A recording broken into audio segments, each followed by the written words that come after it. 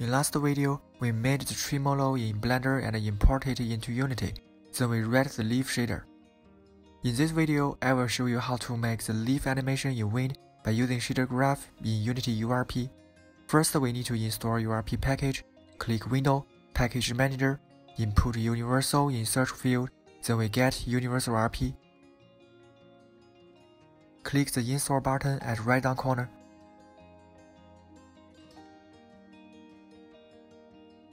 After install finish, we need to create a pipeline asset. In project window, under asset folder, choose create rendering universal render pipeline, pipeline asset. Then click the pipeline asset, modify the pipeline settings in inspector window. Check HDR under quality settings, choose full time anti-aliasing. Under shadow settings, check soft shadows under post-processing settings, set grading mode to high dynamic range. Then click Edit, Project Settings, select Graphics on the left tab. In Scriptable Render Pipeline Settings, choose the pipeline asset we just created. Back to the scene, we can see the materials become rose red. We need to upgrade them to URP materials. Click Edit, Render Pipeline, Universal Render Pipeline, Upgrade Project Materials to Universal RP Materials. In the pop-up window, click Proceed. Now the ground and the tree trunk have right materials. We still need to remake the leaf shader in URP. Before that, set up the post-processing effects. In Hierarchy window, right-click, choose Volume, Global Volume. In its inspector window, Click New button to create a new volume profile. Then let's add bloom effect and modify its properties.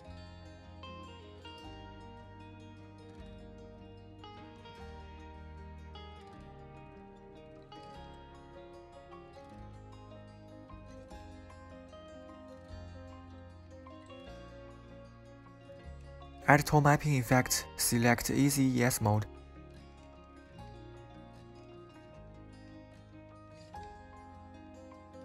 Add color adjustments, then modify its properties.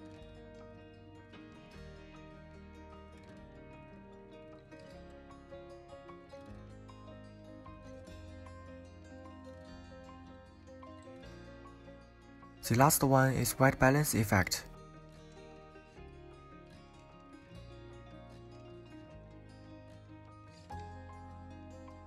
Let's modify the camera properties, check post-processing here to make sure post-processing work on the game camera, choose SMAA for anti-aliasing.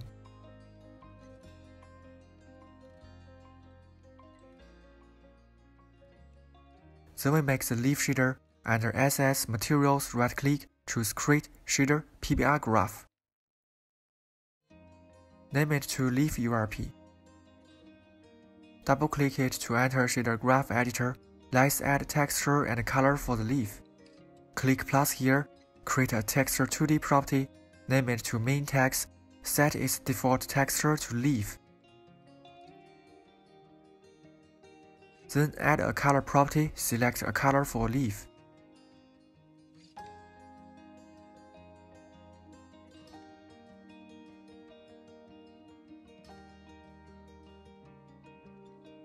Click the Settings button on the PBR master node Check two-sided for both rendering front and back faces. Then press space to create a new node, input texture, choose sample texture 2D.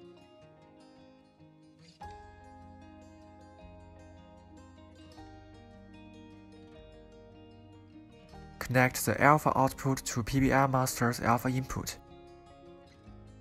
Here we use texture color to multiply color property, connect the result to albedo, you can just use color or textures color as albedo.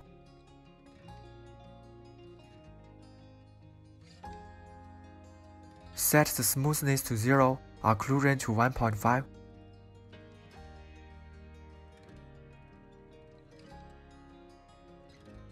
The alpha clip threshold is 0, we need to set it to 0.5. Create a vector 1 property name it to alpha cutoff, set its default value to 0.5, change mode to slider, then connect it to alpha clip threshold. Now we can see the leaf's shape. Click Save Asset, back to the scene, check the result. Here don't forget, drag the shader we just created onto the leaf material. Okay, now we have already achieved the same result with what we did in last video. Back to shader graph, let's make the leaf animation. Includes vertex animation for leaves movement and UV animation for leaf wiggle. For vertex animation, we will use vertex world position XZ components as UV to add an offset which changes over time. Then use the UV offset, sample or noise texture to get the vertex world offset. Press space to create a position node, choose space to world. Then use a split node and a vector 2 node to get its XZ components.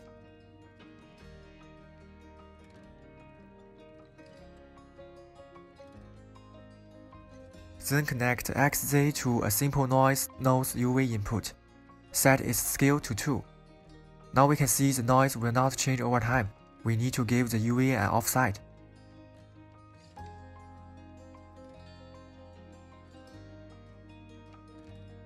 Let the UV add an offset, then give the result to noise UV.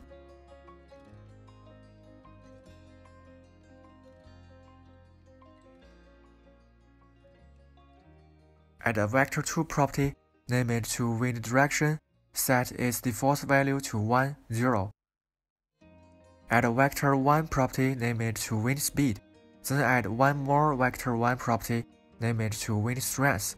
Set wind speed default value to 1.2, set its mode to slider, mean value is 0, max value is 2. Set window strength default value to 0.2, set its mode to slider, mean value is 0, max value is 1.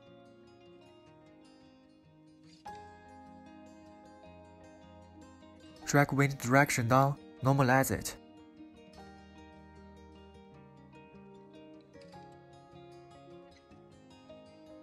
Multiply with wind speed and time. Let it changes over time.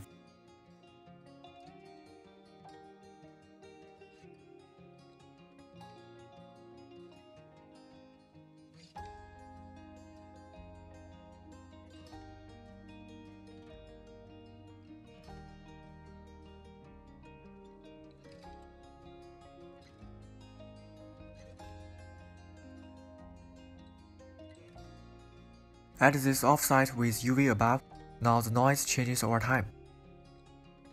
Let's check this again. Here we take XZ components of vertex world position as UV, wind direction multiply wind speed, multiply time as offset. Add UV and offset.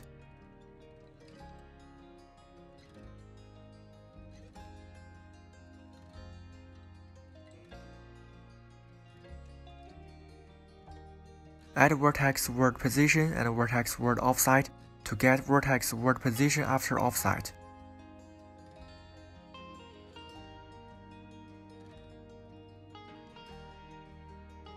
Here we can see the master's vertex position input is object space, so we need to transform the position from world space to object space. Create a transform node, select world to object, then connect it to master's vertex position input.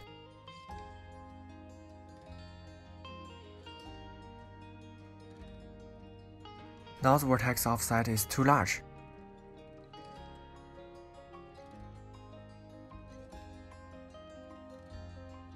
We will use wind strength to control the vertex offset.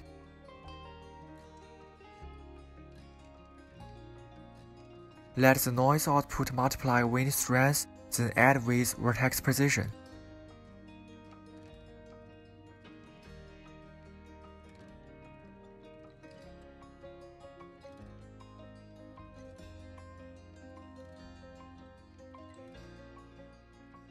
The vertex offset looks normal now. Let's arrange these nodes. Click Save Asset back to the scene we can see the leaf's movement, change the material properties to check the result.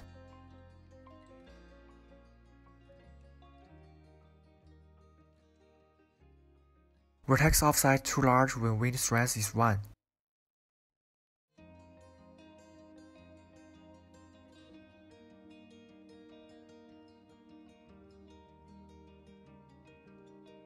Back to shader graph, change the wind strength max value to 0.5. Next, we will give the leaf texture a wiggle animation. Let the leaf texture rotate around its center to achieve the effect. Here, we use the UV offset we just made.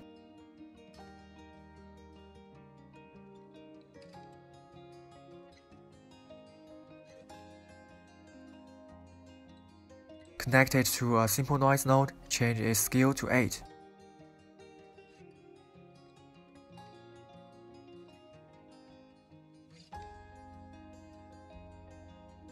Different with vertex animation, here we use wind speed to control the wiggle.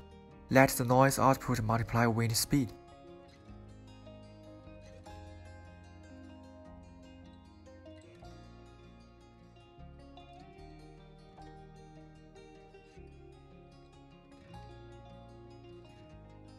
Give the output to a rotate nose rotation input. Let UV rotate around center point.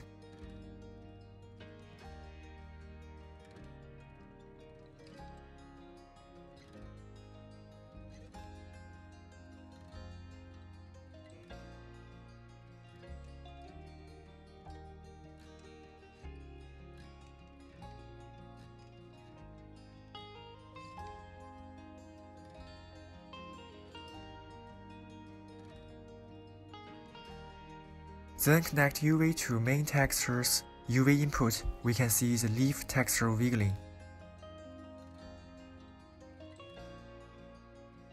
At last, let's group these nodes.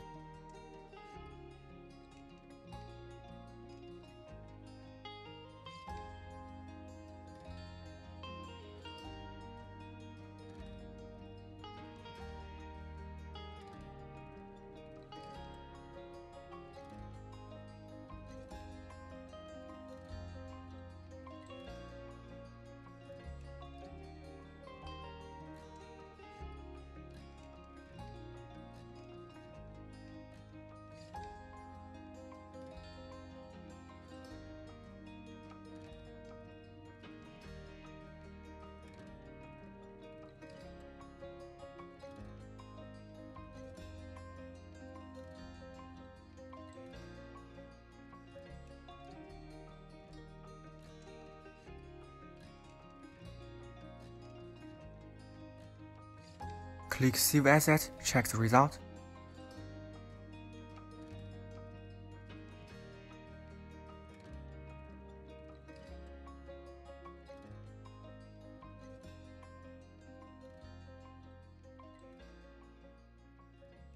Okay, that's all in this video. Hope it could help you. Thanks for watching.